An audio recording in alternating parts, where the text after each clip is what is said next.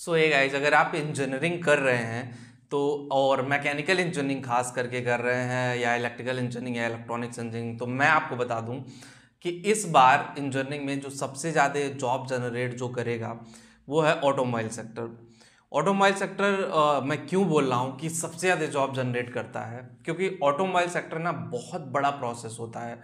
मतलब प्रोसेस जैसे अब कोई कार है मैन्युफैक्चरिंग हो रही है तो कार मैन्युफैक्चरिंग से ले करके आ, उसके डिलीवरी तक का मैन पावर की ज़रूरत होती है। ऑल दो बहुत ज़्यादा ऑटोमेशन का भी यूज़ होता है लेकिन ऐसे में अगर देखा जाए कहीं से कमाल की चीज़ ये होती है कि भाई ऑटोमेशन जैसी चीज़ें उतना इफ़ेक्टिव है नहीं है ऑटोमोबाइल इंडस्ट्री में।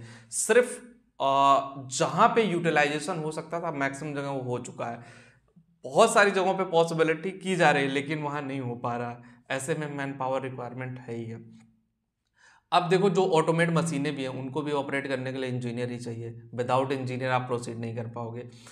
तो ऑटोमोबाइल सेक्टर में आप देख लो जब कोई भी चीज़ आती है पहले तो उसकी डिज़ाइनिंग फाइनल होती है। और डिज़ाइनिंग से रिलेटेड जॉब तो डिज़ाइनिंग इंजीनियर जो लोग ऑटो कैड किए हैं या आ, कोई और डिज़ाइनिंग जानते हैं थ्री डी डिज़ाइनिंग जानते हैं वो लोग भी इसमें आ सकते हैं। डिज़ाइनिंग एक बहुत मेजर पार्ट होता है। जब भी कोई कार बाइक या कुछ भी लॉन्च होता है तो डिज़ाइनिंग एक बहुत इंपॉर्टेंट पार्ट रोल अदा करता है।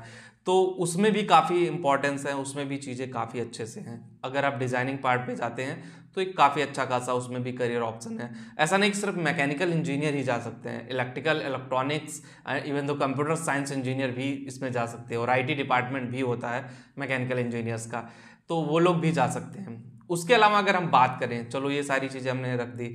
अब बात करते हैं कि भाई डिज़ाइन फाइनल हो गया, डिज़ाइन के बाद प्रोडक्शन में जाता है। प्रोडक्शन में जाने से पहले उसके जो पार्ट्स होते हैं, जैसे हर ऑटोमोबाइल कंपनी, मान लो उसके इंजन है बॉडी पार्ट है, बहुत सारे बॉडी पार्ट्स होते हैं जगह जगह से इंपोर्ट किया जाता है। कुछ मैन्युफैक्चरिंग भी होती है। उसके बाद उसको पैक्ड किया जाता है। ऑटोमेशन वहाँ यूज़ होता है। जब सारे चीज़ें आ जाती है भाई वहाँ पे लगाने के लिए फिर उठाता है रोबोट ऑटोमेशन और वहाँ ऑटोमेट तरीके से उसको असेंबल करता है। असेंबलिंग का काम होने के बाद भी भाई टेस्टिंग भी होती है। असेंबलिंग हो जाने के बाद मल्टीपल राउंड की टेस्टिंग होती है। कोई भी प्रोडक्ट मार्केट में नहीं आ रहा है।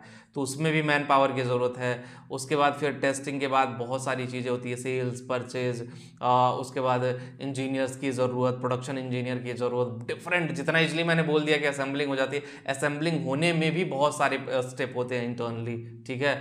उसके engine test up and all the things तो उसमें सारे इंजीनियर्स की ज़रूरत पड़ती है। ऐसे में देखो इंजीनियर्स की ज़रूरत ऑटोमोबाइल इंडस्ट्री में काफ़ी है। कोई भी इंजीनियर हो इलेक्ट्रिकल इंजीनियर इलेक्ट्रॉनिक्स इंजीनियर या मैकेनिकल टूल्स या प्रोडक्शन दोनों में। तो ऑटोमोबाइल इंडस्ट्री का ग्रोथ काफ़ी हो रहा है। नई नई एस आ रही हैं नई नई इलेक्ट्रिक कारें आ रही हैं नई नई इलेक्ट्रिक बाइक आ रही हैं। तो जो लोग ऑटोमोबाइल इंडस्ट्री में जाना चाहते हैं, देखो लेटेस्ट ट्रेंड ऑटोमोबाइल इंडस्ट्री का ये आई है और इलेक्ट्रिक व्हीकल है। बार बार मैं वीडियोस में क्यों बताता हूँ? क्योंकि आप लोग जानिए आईओटी इलेक्ट्रिक व्हीकल और ऑटोमेशन ये तीन चीज़ें बहुत इंपॉर्टेंट हैं। ऑटोमेशन का भी काफ़ी यूज़ होता है। ऑटोमेशन अगर आप सही से सीख लेते हो तो ऑटोमेशन के थ्रू भी करियर आपका बहुत अच्छे से जाता है। क्योंकि ऑटोमोबाइल इंडस्ट्री में ऑटोमेशन का काफ़ी यूज़ होता है। और बड़ी बड़ी कंपनियाँ जैसे टाटा हो गई मारुति सुजुकी हो गई आ, किया हो गई आ, उसके बाद और भी नई नई कंपनियाँ मार्केट में आ गई हैं। बाइक की बहुत सारी कंपनियाँ हैं। तो उन सारी कंपनियों में आपके लिए अपॉर्चुनिटी है, लेकिन आपको डिसाइड करना कि भाई अपना स्किल सेट कहाँ है? सबसे बड़ा इंपॉर्टेंट कि स्किल सेट कहाँ है? आईटीआई वालों कैसे दो दो हज़ार आईटीआई वालों को, पंद्रह पंद्रह सौ आईटीआई वालों को ऑटोमोबाइल में लगभग लाखों लोग जॉब करते हैं। ऐसा नहीं कि सिर्फ़ दो हज़ार, चार हज़ार लोगों से, लाखों लोग प्लांट में चले जाओ, लाखों शिफ्ट में काम चल रहा है कि भाई दो दो, तीन तीन, चार चार शिफ्ट चलती हैं। ट्वेंटी फोर इंटू सेवन का प्रोडक्शन चल रहा है तो शिफ्ट वाइज जॉब होता है। तो उसमें ये भी होता है कि भाई अपॉर्चुनिटी आपके लिए बेहतर है। तो ऐसे में मैन्युफैक्चरिंग यूनिट्स काफ़ी इंडिया में बढ़ रही हैं। चाहे वो ऑटोमोबाइल की हो, क्योंकि ऑटोमोबाइल की बहुत सारी नई नई एस नई नई कंपनियाँ आ रही हैं। टेस्ला तक अनाउंसमेंट हो गया कि भाई टेस्ला भी इंडिया में अपना मैनुफैक्चरिंग करेगी। तो ऐसे में अपॉर्चुनिटी है, और अगर आप ऑटोमोबाइल सेक्टर में जुड़ते हैं तो आपका करियर शायद बहुत अच्छा ग्रो करेगा, और आपके लिए मल्टीपल अपॉर्चुनिटी होगी। खूब इस वीडियो, आपको पसंद आया होगा, जो लोग टेलीग्राम पे वहाँ पे भी जान, जाके ज्वाइन करें। जिनको भी करियर काउंसलिंग चाहिए लिंक डिस्क्रिप्शन दिया एक बार जा करके वहाँ भी देखिए। मिलते हैं आपसे नेक्स्ट वीडियो में। Thank you